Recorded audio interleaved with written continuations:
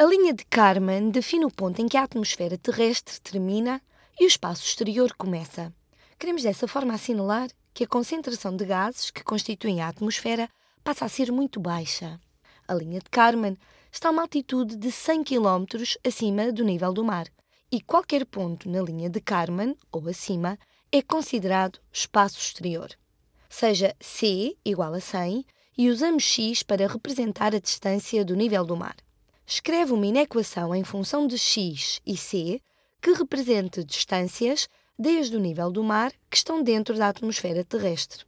Então, queremos escrever uma inequação em termos de x e c. E x representa a distância acima do nível do mar e c é a linha de Kármán. Queremos pensar em queremos pensar em distâncias dentro da atmosfera terrestre. Portanto, será tudo o que fique abaixo da linha de Kármán.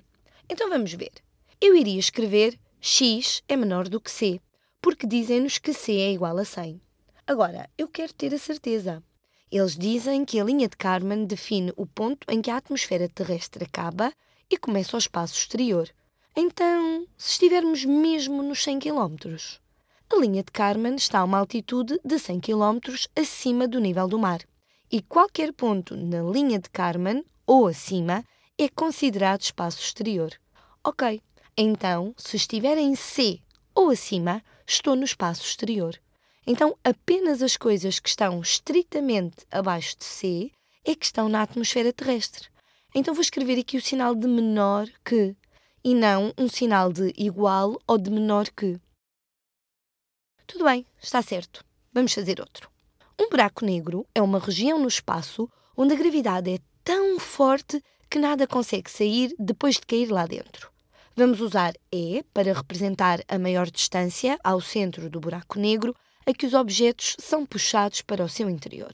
Se x representar a distância de um objeto ao centro do buraco negro, escreve uma inequação para distâncias seguras ao centro do buraco negro em termos de x e E. Então, x é a distância ao centro. E representa a maior distância ao centro do buraco negro a que os objetos são puxados para o seu interior. Então, se estiveres em a uma distância E do centro ou mais perto, serás puxado para dentro do buraco. Mas queremos pensar em distâncias seguras. Então, se estivermos mais afastados do que é, não devemos ter problemas. E é estritamente maior do que, pois se estivermos em E, essa é a maior distância em que ainda seremos puxados para o interior do buraco. Muito bem.